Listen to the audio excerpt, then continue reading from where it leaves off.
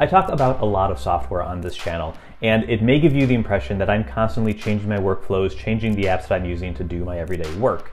And while I am more adventurous than a lot of people probably with trying new software and trying new updates when they come out, I'm definitely not changing everything.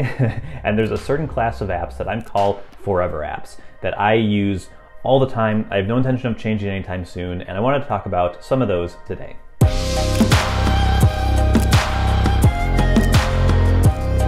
So first off, we have to define what I think of as a forever app. And so while no app is absolutely forever, like I, there may be some apps I'm using today that I'll use in 20 years, but odds are a lot of them will change, even if I consider them forever right now.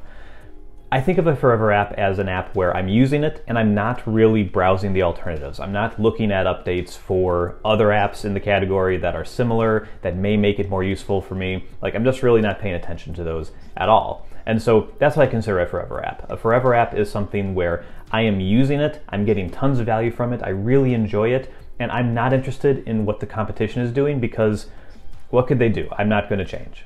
So before I get going with my seven forever apps, think about what could be in this category for you. I'd love to hear in the comments uh, what apps fall into this category for you guys. Uh, what apps do you absolutely love, couldn't live without, and really are not interested in replacing anytime soon?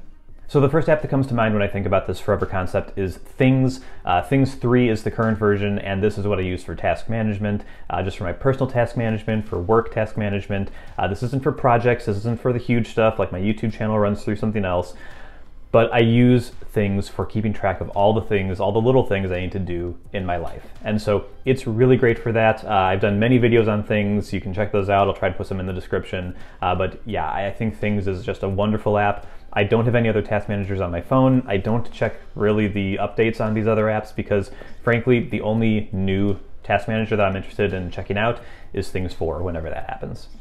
The next one is an app that I've called my favorite app on any platform, period, and that is Ulysses. Ulysses is a writing app, it's a note taking app, it's kind of whatever you want it to be, it's a publishing app.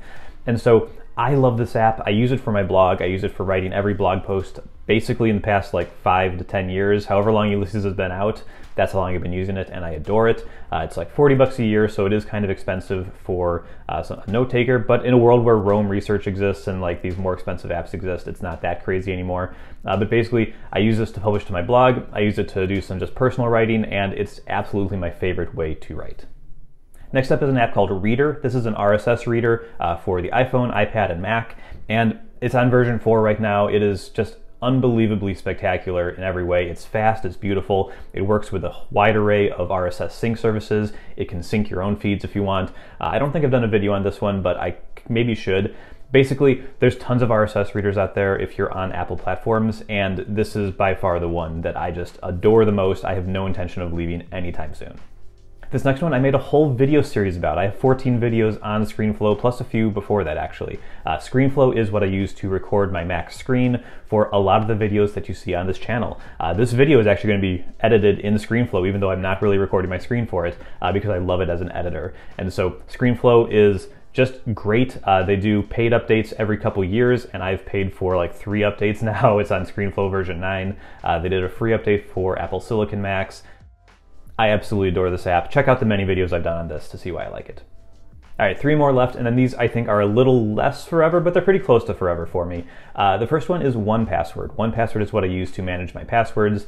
Uh, obviously, but uh, I know there's other options out there. LastPass is kind of the big alternative, although their free plan is getting way more limited. Um, 1Password is not free, it is paid, so I'm used to paying a $5 a month subscription for it, but it's absolutely wonderful for getting my passwords across all of my devices, for having a shared vault with my wife so she can have her own set of passwords, and they don't clutter my vault or anything, but if I need them, I can access them uh, on our family plan. So I love 1Password. I have no intention of leaving this one, of course. Then there's Fantastical, uh, the only calendar app that I've ever really enjoyed.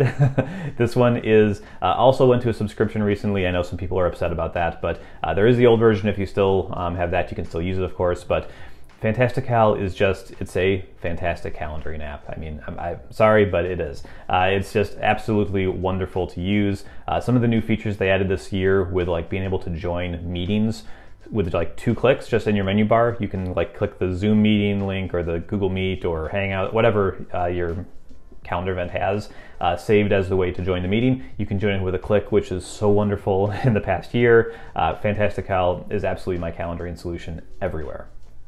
And bringing up the rear is an app that I keep wanting to make a real video about, but I can't I'm really struggling with it for some reason. Uh, it's Keyboard Maestro, and this is an app on your Mac that lets you automate things. I do so much with this, from text expansion to automating some repetitive work that I have to do numerous times a day. Um, when I looked at, uh, it keeps track of like how much time it says it saves you. Uh, since January 1st, when I kind of re reformatted this computer, uh, my work computer, it says I've saved 21 hours, uh, which is yeah, that totally makes sense. That's three work days of stuff that I've automated. And I do so much with it. I really want to make a video on this app because it's wonderful. I think it's a really hard app to explain. It's really in, intimidating, I think, to a lot of users. Uh, it was intimidating to me for many years, and then it finally clicked with me, and it's just so great. It lets me do things on my Mac that I never thought I'd be able to do. Uh, so it's similar to shortcuts on the iPad and iPhone, more powerful, um, but more complicated in many ways. Regardless, it does incredible things, and I have, I see nothing else on the market that's even close to doing everything this app does, and I am not leaving anytime soon. Which I said a million times this video, but it stands. Uh, I, I stand by it. I'm not leaving this app anytime soon. So those are seven apps that I think of as forever apps right now. Uh, I hope that they will remain that way for quite a while. Some of these have been my forever apps for years, and so I think they're going to stay that way for quite a while. I also think about Hey Email, which is less than a year old for me, uh, so I don't know if I've used it long enough to call it a forever app, but I really love that too. Um, but anyway, uh, let me know in the comments what you think are some of your forever apps. I'd love to hear what they are. If they're in a category that I don't have a forever app in yet, maybe I'll give it a shot and see if it can fit that need for me. So uh, thank you so much again for watching, and I will see you here next time on A Better Computer. Bye bye.